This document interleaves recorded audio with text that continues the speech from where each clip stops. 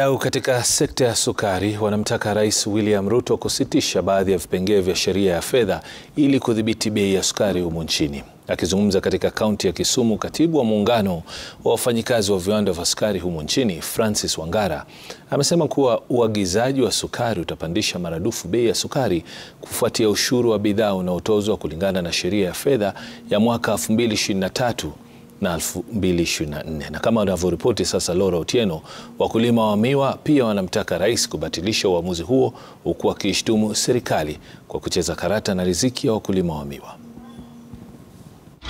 Masaa 24 baada ya rais kutangaza kuwa serikali itaagiza sukari kutoka ughaibuni kufuatia ukosefu wa bidhaa hiyo katika soko la Komesa.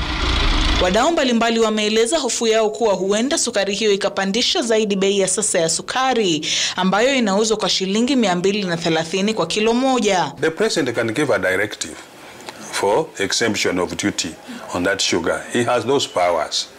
So that is the only option he has. If he wants to, sub, to, to assist the Kenyan consumers of sugar, of sugar, then this is the directive he has to give.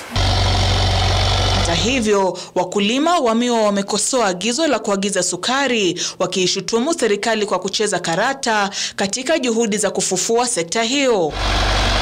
Wakulima hao aidha waliilimbikizia lawama mamlaka ya chakula na kilimo iliyositisha shughuli za usagaji sukari kwa ukanda wa magharibi na Nyanza kwa miezi minne kwa sababu ya uhaba wa miwa. Miwa iko hata sahii kuangalia, si unaona iko miwa. School fees yetu natoka hapo, kila kitu tunafanya na miwa.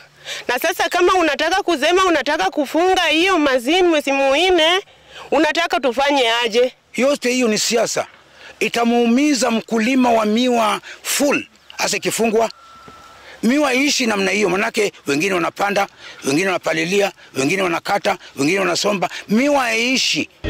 Muungano wa kimataifa wa sukari ulichapisha ripoti mwezi Aprili mwaka huu ukiashiria uhaba wa miwa kote duniani na kusababisha mataifa mengi kutegemea uagizaji wa sukari.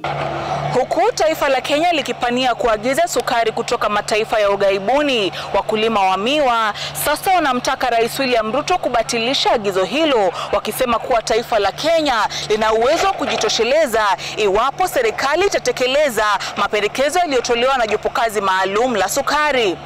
Laura Otieno, runinga ya Citizen kutoka eneo la Miwani, kaunti ya Kisumu.